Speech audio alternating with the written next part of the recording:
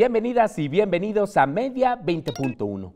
¿A usted no le ha pasado que cuando sube algún contenido, que quizás alguna de estas plataformas digitales, Facebook o TikTok, decidió bajarlo, no sabe qué hacer, a quién acudir? ¿Usted sabe que tiene derechos como usuario de estas tecnologías, de que tiene derechos digitales? Este es un tema vital porque ahora estamos hiperconectados y somos usuarios permanentes de estas redes sociodigitales y también de una serie de plataformas. Le invito a conocer hoy en Media 20.1 sus derechos que usted tiene justo en el ámbito digital.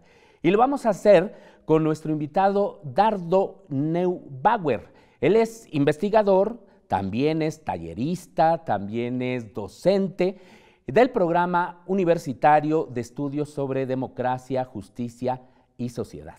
Antes de la entrevista, le invito a ver, como cada semana, algunos de los hechos destacados en materia de medios, internet, redes sociodigitales con Viri Viridiana Mondragón.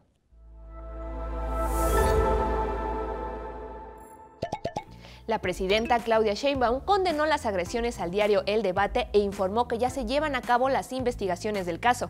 Las organizaciones Artículo 19 y la Red Rompe el Miedo también expresaron su condena por la privación de la libertad de uno de los repartidores del diario El Debate y el ataque armado a las instalaciones de este medio. Ambas organizaciones advierten que los ataques a la prensa no solo afectan a los medios y sus trabajadores, sino que también constituyen un ataque a la democracia y al derecho de la ciudadanía a estar informada. Asimismo, destacaron que la situación de violencia contra periodistas se ha agravado y prevalece la impunidad de estos delitos. Sinaloa, sede de diario El Debate, se encuentra entre los estados con mayor número de agresiones documentadas. Las y los integrantes del jurado del Premio Nacional de Periodismo 2023 expresaron que las condiciones laborales, la inseguridad y la injerencia gubernamental en los medios públicos amenazan la libertad de expresión y el derecho a la información veraz e independiente. Por ello, exigieron mejorar las condiciones laborales de los periodistas, como salarios justos, seguridad laboral, atención a la salud mental y protección contra la violencia y el acoso. También dijeron que la violencia contra periodistas es alarmante y pone en peligro la libertad de expresión y el derecho a la información, por lo que urge reforzar un entorno que favorezca el ejercicio seguro de la profesión. Lo anterior se expresó en la conferencia de prensa en la que se anunció a las ganadoras y ganadores del Premio Nacional de Periodismo 2023 que otorga el Consejo Ciudadano, cuya presidencia la tiene la Universidad Autónoma Metropolitana la Cátedra UAM Canal 22 Radio Educación sobre Medios Públicos rendirá un homenaje internacional a Beatriz Solís Leré, destacada académica e investigadora de la Universidad Autónoma Metropolitana. La maestra Solís Leré es una de las figuras fundamentales en el campo de la comunicación en México. Sus aportes en temas como la regulación de los medios, los derechos de las audiencias y el derecho a la información y el fortalecimiento de los medios públicos e indígenas han incidido en la toma de decisiones y en la formación de decenas de generaciones de estudiantes y profesionales de la comunicación y el periodismo. El homenaje se llevará a cabo los días 28 y 29 de octubre en el Auditorio Pedro Ramírez Vázquez de la Rectoría General de la UAM a partir de las 10 de la mañana. Meta enfrenta una demanda presentada por docenas de fiscales generales estatales que consideran que esta empresa contribuyó deliberadamente a una crisis de salud mental juvenil al fomentar que los niños generen una adicción a las redes sociales.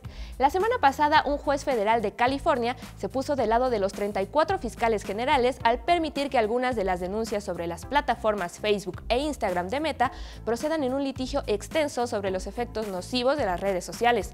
Los fiscales generales también afirmaron que Meta recopiló ilegalmente datos de niños menores de 13 años. El año pasado, TikTok fue demandada por reclamos similares en 13 tribunales estatales y en la ciudad de Washington. Estas fueron algunas de las noticias destacadas de la semana. Volvemos con Gabriel Sosa Plata con más información aquí en Media 20.1. Muchísimas gracias a Viri Mondragón y muchísimas gracias a Dardo Neubauer. Gracias por estar aquí. Muchas gracias, maestro Gabriel Sosa Plata, por la invitación y por el espacio para contar un poco esta agenda que manejamos desde el Tlatelolco Lab, del PUEX, del Programa Universitario de Estudios sobre Democracia, Justicia y Sociedad, de los derechos digitales. Tal como usted señaló, un, tema muy importante, sobre todo en estos momentos de hiperconectividad total. Me parece que es importante tener bien el conocimiento sobre estos derechos. Así es. A ver, ¿Qué son los derechos eh, digitales? Antes de entrar, digamos, al tema que nos convocó, que es esto de que, qué hacer cuando nos censuran algún, algún contenido. ¿Cómo se enmarcan los derechos digitales? Bueno, los derechos digitales surgen como parte de estos nuevos derechos eh, que van de la mano del desarrollo de las tecnologías de la comunicación y, y de la información y que tienen que ver principalmente sobre cómo nosotros hacemos valer estos derechos que quizás antes los veíamos materializados en el plano de los medios tradicionales, pero ahora en el entorno digital. Aquí vamos a ver de que tenemos plataformas sociodigitales que se constituyen ellas mismas como empresas tecnológicas, pero que literalmente están manejando nuestras formas de comunicarnos, de interactuar, de consumir contenidos, y ahí es importante concebirnos nosotros no solamente como meros consumidores, sino como sujetos de derechos, sujetos de derechos que tienen eh, el derecho justamente a un ambiente digital libre de violencia, a que se respete nuestra libertad de expresión, nuestro derecho a la información, a que se respete los contenidos que nosotros subimos eh, a, estas propias plataformas.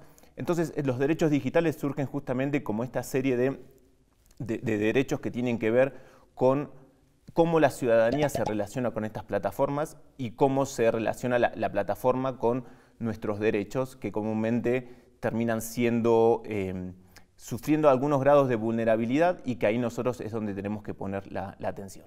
Claro, los derechos humanos se extienden finalmente a los, a los medios digitales, ¿no? a estas tecnologías.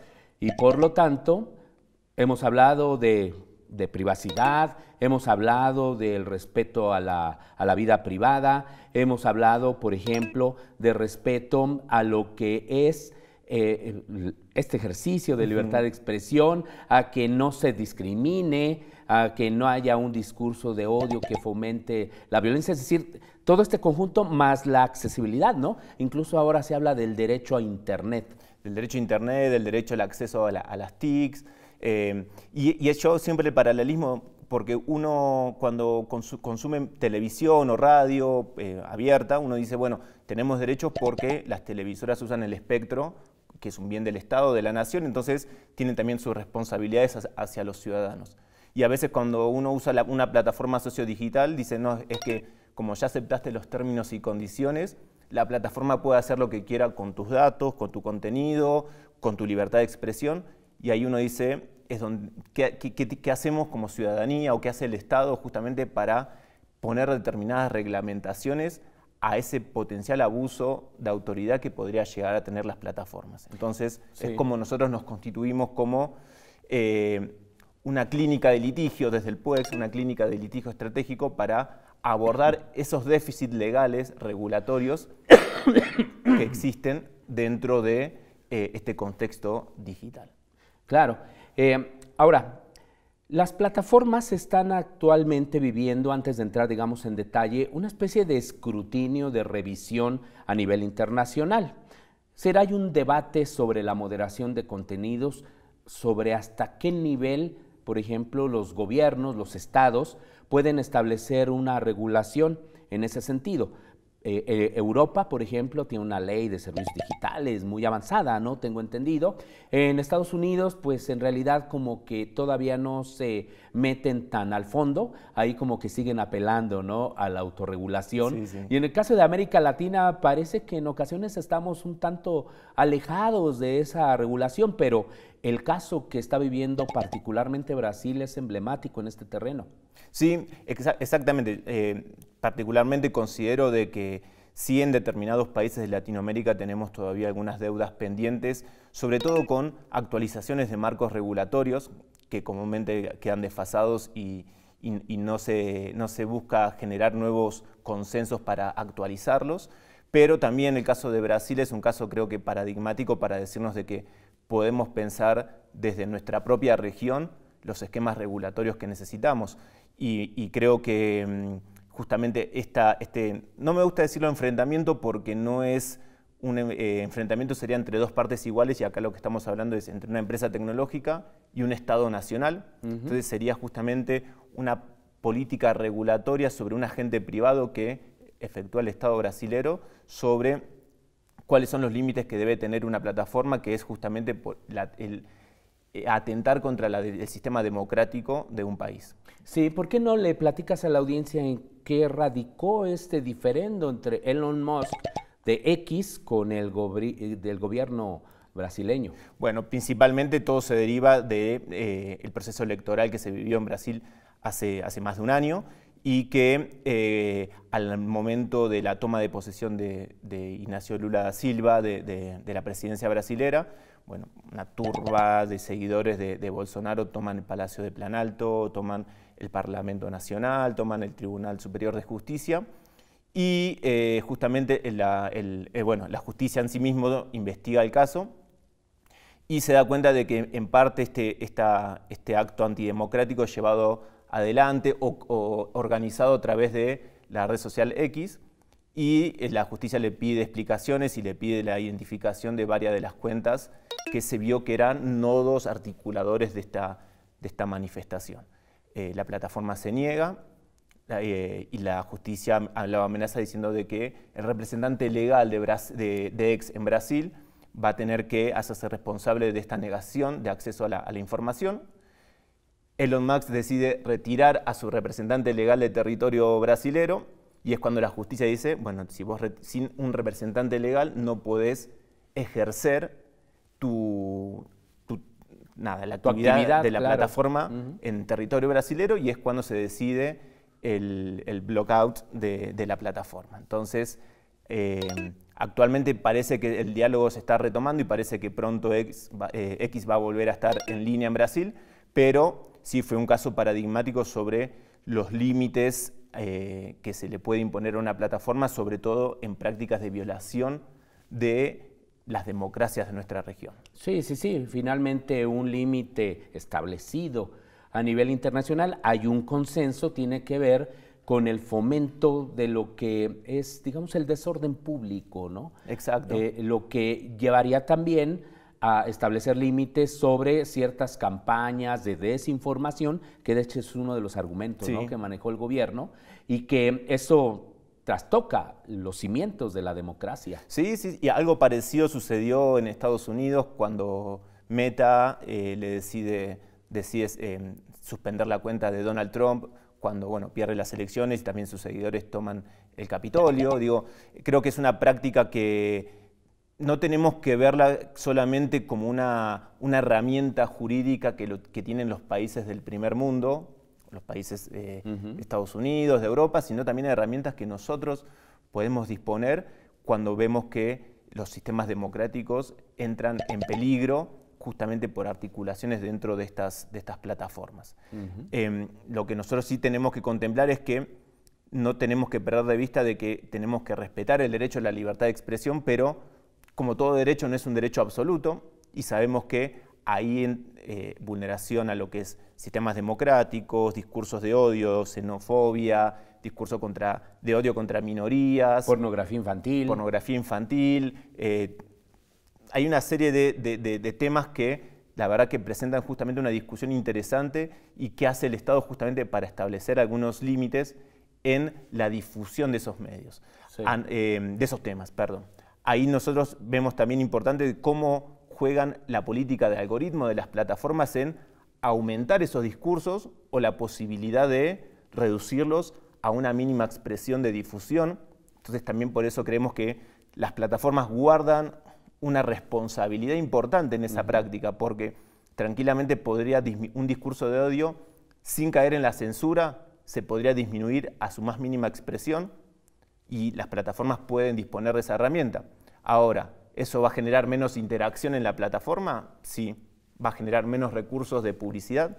También, pero tenemos que hacer respetar los derechos de las personas a poder convivir en un ecosistema digital que sea libre de violencia. Claro, claro. Ahí es responsabilidad de ambos, de quienes subimos contenidos que podrían ser violatorio de los derechos humanos, pero esto no significa que también las plataformas no dejen de violar derechos humanos. Entonces, ¿cómo encontrar el punto, punto medio? Pues vamos a seguirlo hablando en Media 20.1 con Dardo Naubauer, es que veo porque, bueno, tu apellido no es fácil de pronunciar, así que por favor, no se vaya.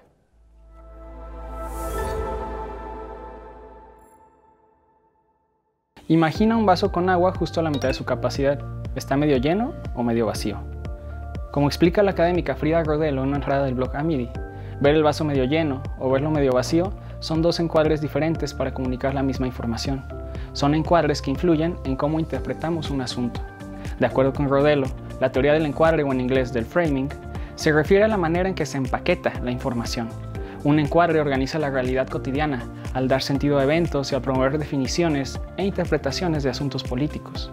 Por ejemplo, cuando observamos a dos grupos, uno reclamando el derecho a decidir sobre su cuerpo y otro alegando el derecho a la vida. Lo que vemos es una disputa por el sentido. Cada uno impulsa su visión sobre un mismo asunto a través de distintos encuadres. La teoría del encuadre surgió en los estudios de psicología social y la evidencia ha demostrado que la forma en que se presenta la información impacta en cómo se comprende y en qué decisiones se toman en relación con ese problema. Rodelo advierte que las élites tienen el mayor poder para promover sus encuadres y de esta manera movilizar el apoyo político y popular. Entonces, la próxima ocasión que veas un video o leas una nota, puedes preguntarte, ¿me están mostrando el vaso medio lleno o medio vacío? ¿A quiénes conviene que yo comparta esa mirada? Estamos de regreso en Media 20.1 hablando con Dardo Neubauer, ahora sí lo dije bien, sobre los derechos que usted, todas, todos, tenemos en el mundo de Internet y las redes sociodigitales, es decir, sus derechos digitales, cómo ejercerlos ante un caso, por ejemplo, de censura. Y decíamos antes del corte, Dardo, que eh, pues hay un dilema, ¿no? De que las plataformas se asumen también como moderadoras de contenidos y de que hay incluso muchas personas, pero también algoritmos que constantemente están vigilando los, los contenidos, ¿no? Para que aquellos que incumplen sus normas, pues sean retirados, ¿no? O bien de que desde su parecer estén incumpliendo alguna normatividad o no sé si también cuando hay alguna orden judicial que pide que se retire algún contenido. Pero en muchas ocasiones las plataformas actúan de manera poco responsable. Y eso es lo que ha llevado a que, por ejemplo, algunos contenidos pertinentes que podrían ser de reivindicación de un grupo social, una reivindicación política, alguna posición sobre algún tema, eh, en general, que pudiese incluso también ser polémica, las plataformas dicen, pues esto no va. ¿Qué es lo que pasa ahí? ¿Cuál es el criterio? Si realmente funcionan estos supervisores, moderadores, el algoritmo eh, funciona automáticamente y lo... ¿Cómo funciona? Hay, casos muy paradigmáticos, por ejemplo, la, imagen de la niña que viene corriendo eh, detrás de la explosión de un napalm en la guerra de Vietnam, hay imágenes, por ejemplo, que promueven la, lactancia materna o que promueven la campaña en contra del cáncer de, mama, que justamente la política algorítmica eh, hubo un tiempo en que automáticamente eliminaba esas imágenes. Y uno dice, a ver, ¿es una imagen histórica o es una imagen de campaña de concientización? Y aquí el problema que tenemos es que más del 90% del contenido, por ejemplo, de la plataforma Meta es moderado por algoritmos. Ah, más del 90%. Más del 90%. Y, por momentos la compañía lo dice orgulloso como diciendo de tenemos que llegar al 100%. Ahora, justamente estamos mostrando las limitaciones de, estos mecanismos que hay que reconocer que luego tratan de readecuarse, tratan a, veces aceptan la crítica y tratan de, readecuarse, pero es como correr detrás del problema y, no tener un mecanismo que sea mucho más preciso. Y, ahí es donde hay que poner atención también justamente en esta práctica de, moderación o de las fallas de esta práctica de moderación. Em, una vez que se sortea eso o que el, algoritmo determina que no puede solucionarlo, pasa a una moderación de personas, pero que es difícil de establecer de dónde, es la, de dónde son esas personas, si comparten el mismo contexto cultural, desde la plataforma dicen, sí, son eh, personas de Occidente para contenido de Occidente, son personas de Medio Oriente para contenido de Medio Oriente, pero nunca terminan de saber las especificidades que puede tener un contenido en México, en Brasil, Colombia o, Argentina, que sí, es todo Latinoamérica, pero son realidades distintas. Entonces, también hay una falla en la moderación eh, de las personas mismas de, de las plataformas, en este caso de Meta. Y es ahí donde uno tiene que empezar a pensar cómo interceder justamente ante, esos eh, errores, fallos, eh, adrede o no, digo, eso después queda a criterio de cada quien, pero que las plataformas ponen sobre la mesa y que nos afectan a nosotros como usuarios, como consumidores, como creadores de contenidos. Y es algo eh, curioso porque cuando hay un error a veces sobre o una, vulneración a lo que es la propiedad intelectual de algún contenido, ya música, video, el algoritmo detecta y prácticamente no falla. Es algo como. Y, hasta lo elimina, ¿no? Sí, impecable. manera... Ahora, cuando tenemos una cuestión que tiene que ver con derechos humanos, con libertad de expresión, con libertad de la protesta, ahí es cuando empieza a, tambalear los esquemas de, moderación. Nosotros desde, eh, desde, lo que es la clínica de litigio estratégico que tenemos eh, en el PUEX, en el Programa Universitario de Estudios sobre Democracia, Justicia y Sociedad, tratamos de abrir un canal justamente para que la ciudadanía pueda, eh, se le pueda brindar a la ciudadanía, perdón, herramientas jurídicas de cómo llevar adelante un proceso en contra de estas plataformas en el caso que se sientan sus derechos vulnerados.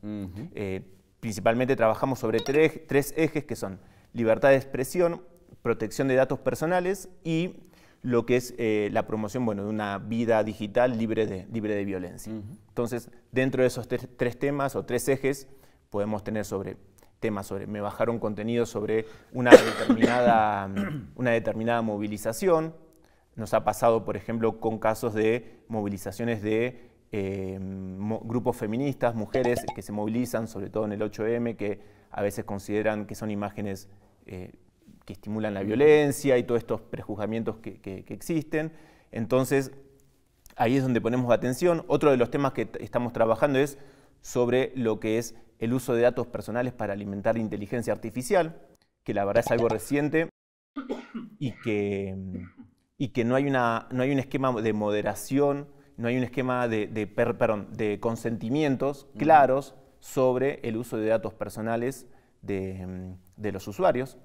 Hasta inclusive prácticamente Meta hace unos meses dijo, a partir de hoy vamos a usar toda tu información pública que subiste a nuestras redes para alimentar nuestra Meta IA y entonces, ¿dónde está el consentimiento? Que según está, está, establecido en la Ley de Protección de Datos Personales.